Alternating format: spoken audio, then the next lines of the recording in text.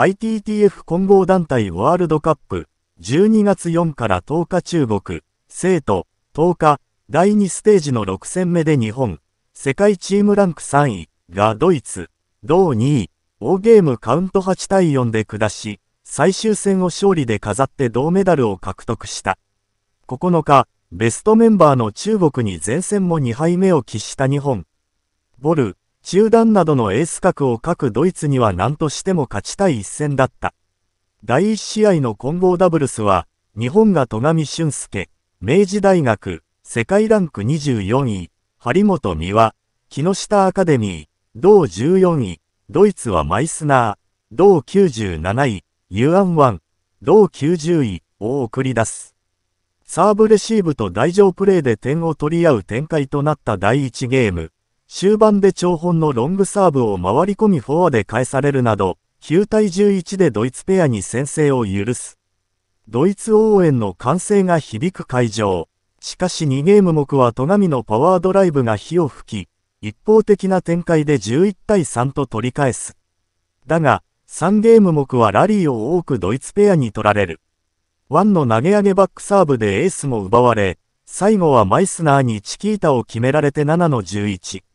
ゲームカウント1対2と先行を許した。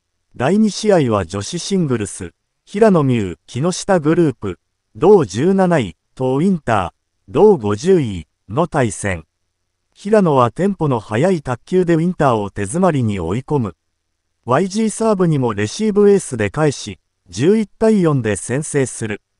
第2ゲームはウィンターに1対4とリードされるが、平野はミドルへのロングサーブを織り交ぜ、早めにコースを突きウィンターを台から下げる。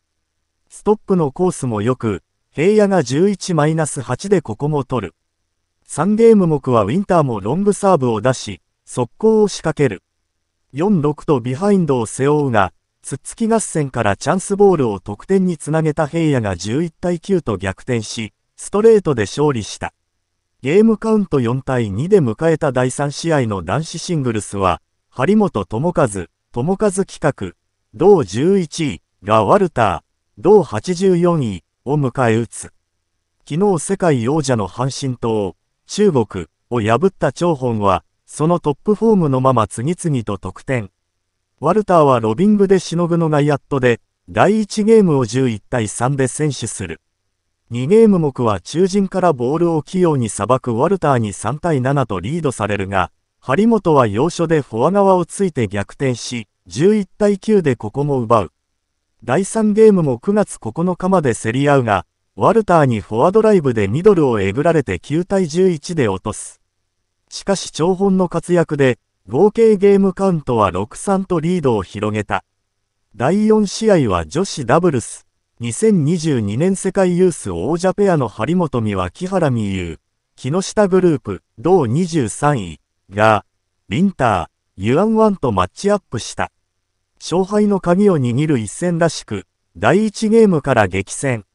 ラリー中にワンが転倒するほどの打ち合いの中、8から8の勝負どころで抜け出したドイツペアに9対11で先制される。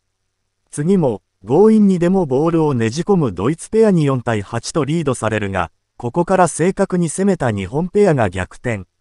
ワンの投げ上げバックサーブで10、10に追いつかれるも、日本ペアが12対10で押し切る。苦しいゲームを打開した日本ペアは、第3ゲームは一気呵成の攻撃で大きくリード。最後は木原のスマッシュが決まり、11対5としてチームの勝利を果たした。ドイツに勝利した日本は、これで銅メダルを獲得。通算8勝2敗で、記念すべき第1回の混合団体ワールドカップを終えた。混合団体ワールドカップ第2ステージ、日本8の4ドイツ、8ゲーム選手のリレー形式、第1試合、戸上俊介、張本美和一、2枚スナー、ユアン1。9-11分の11-7分の3-11。第2試合、平野美宇さん対レイウィンター。11から11分の4-11分の8-9。第3試合、張本智和2のワンワルター。11から11分の3-9分の9-11。第4試合、張本美は木原美優2の1ウィンター、ユアン1。9-12分の11-11分の10から51。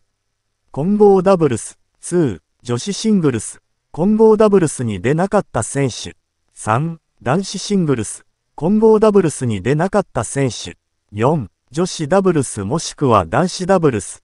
5、男子ダブルスもしくは女子ダブルス。4.5番の順番は試合前に決定。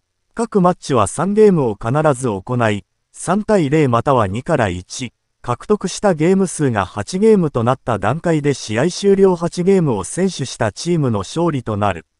異例方式、大会システム、全56試合、ステージ132試合ステージ2 24試合。